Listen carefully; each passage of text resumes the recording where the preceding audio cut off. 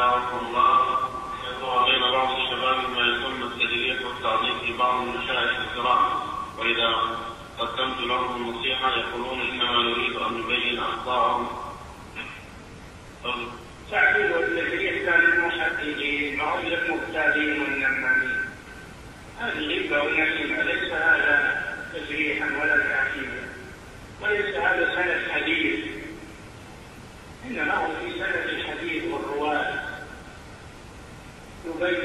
أجل أن لا ينسب إلى رسول الله صلى الله عليه وسلم لا يسأل أما المجالس والكلام بكلام فلان هذه غيبة كيف يحولون من غيبة إلى تعجيل هذا من الافتراء على الله. هذه غيبة